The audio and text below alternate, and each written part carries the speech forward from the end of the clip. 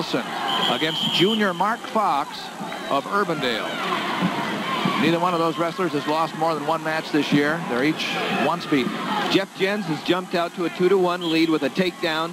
And then with Chad Thurn's escape, it makes it 2 to one. Jens 37 and 0.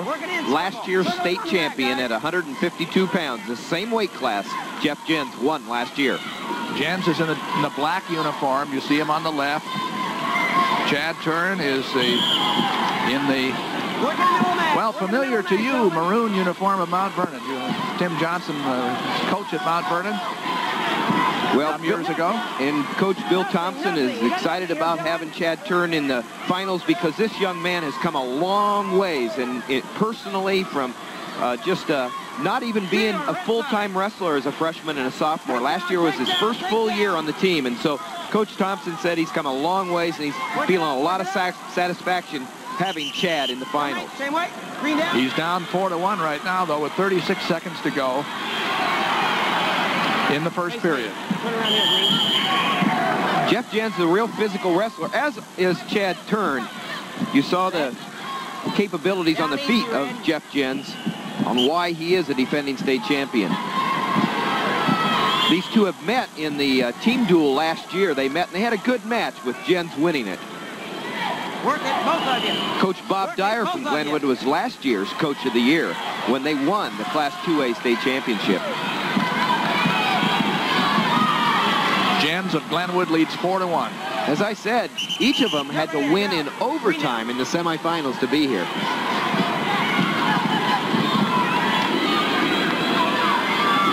There's Bob Dyer with his hand in it on his face right there saying, golly, I wish it was over and Jens was a uh, winner. But I wish he were coming back next year. Yeah, all kinds of things going through his mind.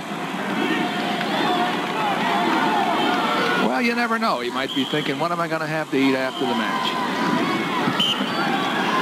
Four to one in favor of Jeff Jens Choice, green. at the end of the first period. Fur to red. Jens has his choice, Green to fur. Red down. And It's that red. Jens wants to start under. He's he's leading by three. Second period. Chad Four, Turn, four, it's, one, red it's spelled T-H, but uh, pronounced. Turn, like T-U-R-N. Didn't take side. Jens long, did it? He's out Working in the up middle, by four Working in the middle. now, five to one. He looks a little more Oh. physical, a little stronger, and he's And he was in on a nice double. Jeff Jens shoots in on a nice double, and he wants to play takedown. seven to two. See the clock ticking up there. Now he jumps in, hooks Watch the face. Watch the face. Jeff Jens did. Comes through to the other far leg right there. Not able to execute through yet. There he drives through, and it's looking close to two points. And he has it, nine to two. Jim Christensen of Greenfield, the referee, calls the fourth takedown for Jeff Jens.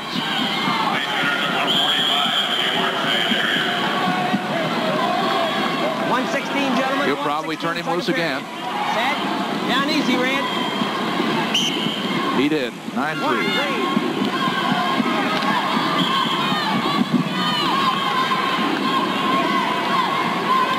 152 pound class. The 1990 Wrestling Championships live from Veterans Auditorium in Des Moines on Iowa Public Television. There's a double attempt by Chad Thurn, but the hip action by Jeff Jens is able to counter him and avoid the takedown.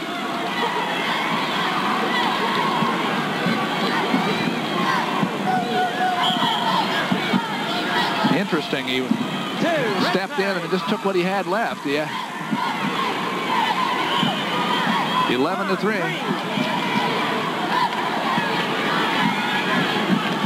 And 11 to 4 after the after the, the let go. But Jens of Glenwood is showing dominance here against Chad Thurn of Mount Vernon. Well, he's very solid. He's a rock, you know, as you can see right there, and he's established himself on his feet to the point where he feels very confident on his leg attack right there to where he can make get some offense, moves like he just did and take a little risk. Now here's the counter, and he's able to counter Chad Thurn very well right there. Pulls up the arms. Does a nice job of countering. And you're right, he has shown some dominance here. End of the second period. 11-4, seven-point lead. And Thurn has a choice. There's Coach Bill Thompson in his eighth year at Mount Vernon. Always has boys up here, and he's excited about Chad Thurn's development, as I said. Man, you're on. Probably like to see him turn it on a little bit here in the last period. He isn't as confident going underneath as Jens is. Jens was actually in the first, in the last period, going all the way under, even without using his arm. Just get under there and take something when he when he arrived. Let's get some offense, gentlemen. Outside signal. He'll try to brag, turn back on the mat and work. Whoa, oh, there, there He slipped. It was almost the first mistake he made. Out of bounds, both up. Jens, that is. Coach Thompson encouraging Chad Thurn to just keep going. There's a minute and a half left in the Well, we've already quarter still we've already seen it tonight. These matches can be Oh, it settled is in a matter of oh, seconds. You're exactly right.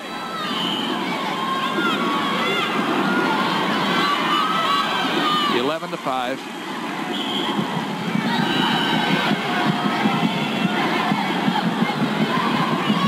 See what I mean? Jens is very confident out there.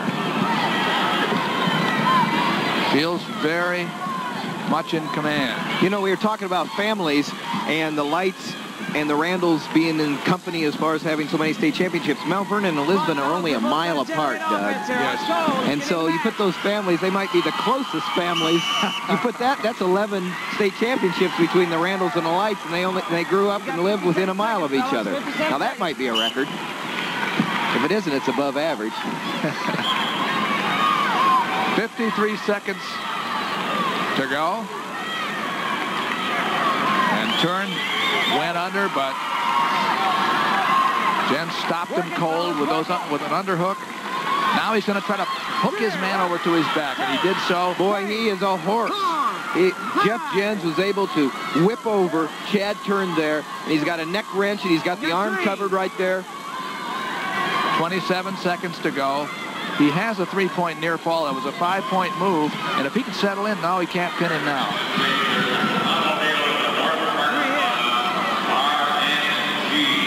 16 to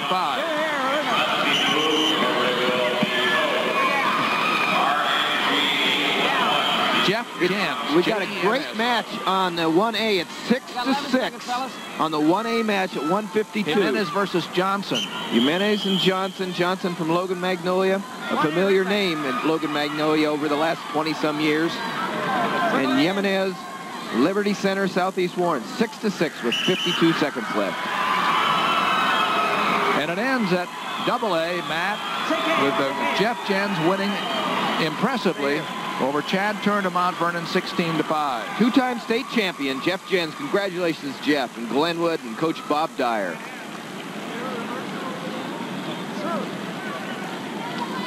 On Iowa Public Television, we're going to go to this 1-1. We're going to go to the 6-6 match at 1A between Randy Jimenez of Southeast Warren and Lynn Johnsen of Logan Magnolia. The man who is getting some attention with the injury timeout was Jimenez in the green uniform. Lynn Johnsen is already out there. He has the white top and the purple second color. And Jimenez is in on a double leg right away, but he can't finish it. It's 48 seconds to go here. And the warning goes to Johnsen for backing out to avoid the takedown. 6-6. He pronounces it with the J, Jimenez. Well, so he doesn't know how to pronounce his own name. That's what we're saying? We have to hope that. anyway, Randy's in a good match here. He has 33 seconds to go between Lynn Johnsen and Randy Jimenez. The Gibbonses are up on the mat. Well, as a matter of fact, those are all Iowa State. Three national champions there. Kelly Ward on the right. Jim Gibbons behind him. There's Perry Hummel and Joe Gibbons on the left. And be, how many uh, state championships between Jim and Joe? What was it? Seven? I think you're right. Yep. Four for Joe, three for Jim. 33 seconds to go, and they have timeout again for Randy Jimenez of Southeast Warren. He's had a great year, 28 and 2. His coach is Ron Miller. Now, Lynn Johnsen waiting there patiently or impatiently, as the case may be, on the left, is undefeated in 33 matches. From Logan Magnolia, and away they go. On the whistle, Jimenez takes the shot.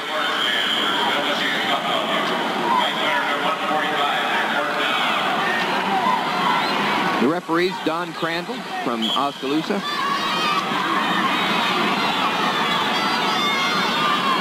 Six to six with about 20 seconds to go. 1A 152. Kind of had the feeling somebody's going to score here, Doug. 15 seconds.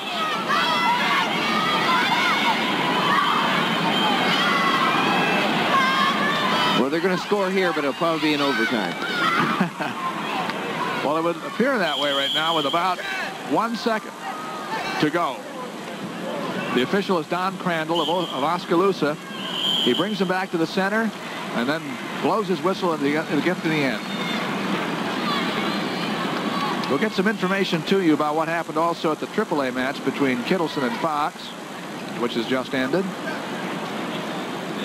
We saw Jeff Jens defeat Chad Thurn 16 to 5 for the 2A championship. Jens from Glenwood. And now Jimenez and Johnsen will go into 6 to 3 in favor of Kittelson was the score at the AAA. Kittelson from Decorah, state champion for Leroy Capriva. Over Mark Fox of Urbandale. So they'll take this one minute rest and then they'll come back to wrestle a shorter match one period, uh, three periods with one minute each. That's Jimenez of Southeast Warren. He went six to six with Lynn Johnsen in the first match, in the first regulation. Those are the numbers of team championships. We said that West Waterloo has won more than any other team, 17 of them. Lisbon is right up there now. Fort Dodge, East Waterloo, and Cresco which hasn't always been Cresco Crestwood, but they've won a lot of titles.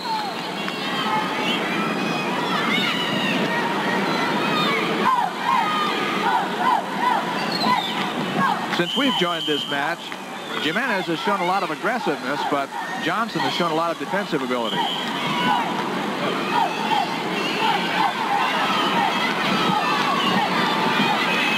Now Johnsen's trying to post that arm and come around. But Jimenez is holding the head. See, he's got a hold of the head, keeping Johnsen from spinning around. He was. He was able to keep him from spinning around for the two.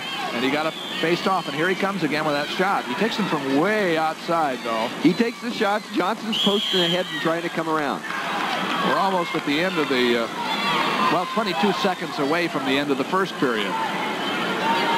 Again in the overtime, if it settles into a tie, then you have criteria that everybody's supposed to know ahead of time. Coach is supposed to have it in mind so he doesn't get fooled.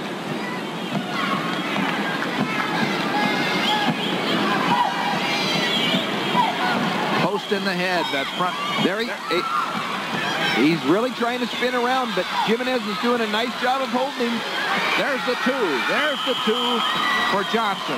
Right at the right end, at of the, the, end of the buzzer there. Johnsen really was pushing, posting that head, spinning, spinning one way, spinning the other way. Persistence paid off. And so it's Johnsen 2-0 in the overtime, 8 to 6 altogether. Now see him spinning right here. Then he posts it again, spins again, has the hand on the crotch right there, posts the head, sees right on the head, drives across, has a hold of the leg, finally gets two right there at the buzzer.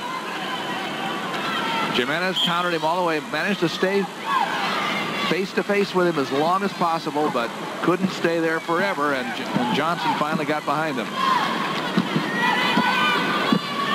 Second period, Johnsen starts on top. Jimenez got to pick where he wanted to go, and he went to the bottom.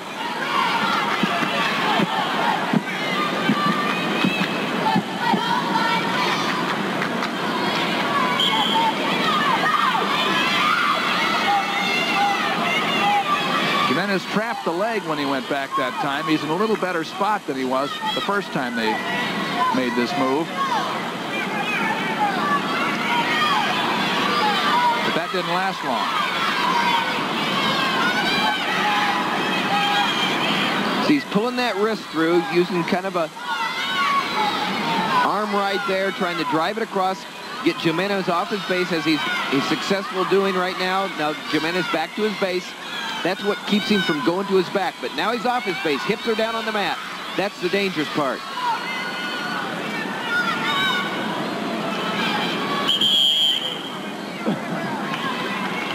Don Crandall calls out a stalemate. There's only one second left in the second period. 152 pounds, 1A division. This is the last match going at this weight. And overtime.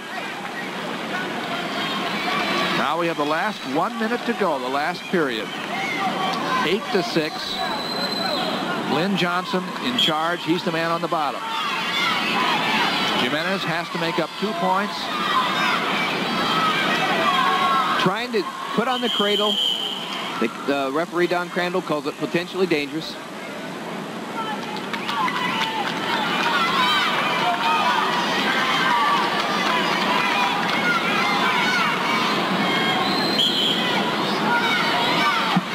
knows he must score from the top here. Jimenez does. He knows he must score by putting Johnsen on his back. He'd have to put him on his back for three, too, because two wouldn't be enough. Well, it would be two. Yes, near it fall, would. A near fall's higher in the criteria. He would That's win right. by criteria if he gets a two-point near fall. But he has only a half a minute to do it. Although we don't know what happened in the regulation time.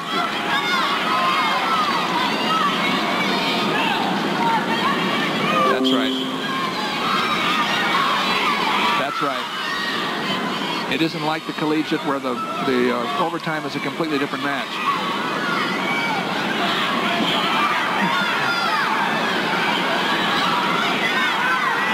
Jimenez really trying to work Johnsen here. Trying to get a make something with a bent leg Turk and he can't. That's considered by Don Crandall to be too dangerous. Eight seconds to go.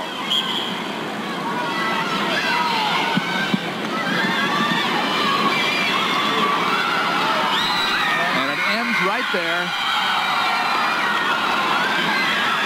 A little bit too late. The call on stalling for one point for Jimenez to make it an 8 to 7 victory for Lynn Johnsen from Logan Magnolia. He is the winner 8 to 7 in overtime. And he finishes an undefeated season.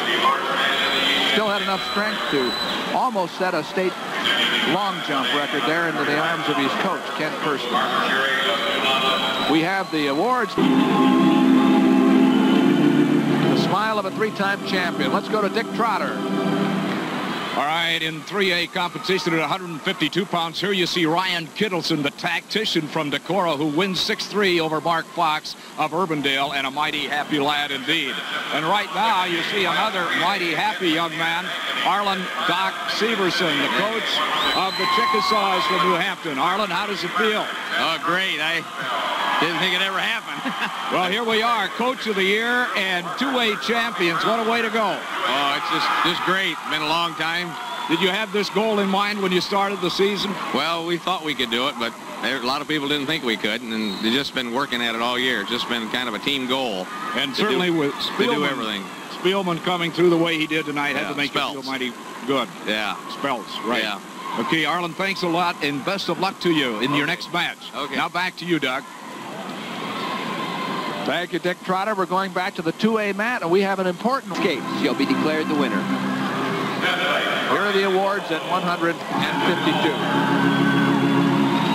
Fourth place, Mike Meyer, Monona MFL.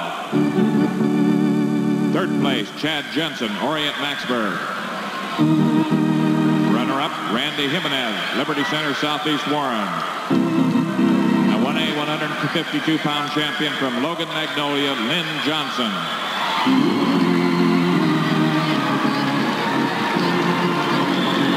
Lynn Johnsen. The winner at 152 pounds in a tough match. An overtime match over Randy Jimenez. Now at 2A. 52-pound award, Coach Bob Dyer of Glenwood. Sixth place, Stacy Collier, Winterset. Fifth place, Chad Kalkved, Estherville. Fourth place, Boyd Forsyth, Huxley Ballard. Third place, Steve Kelly, Britt West Hancock. Runner-up, Chad Thurn, Mount Vernon.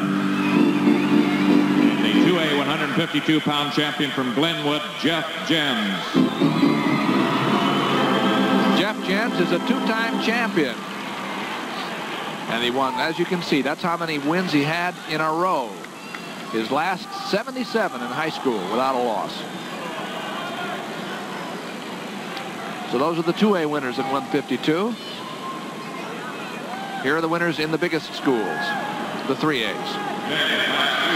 152-pound awards, Coach Leroy Capriva of Decorah. Sixth place, Jeff Black, Mason City. Fifth place, Brian Bricker, Sioux City East. Fourth place, Sean Scarborough, Waterloo, Columbus.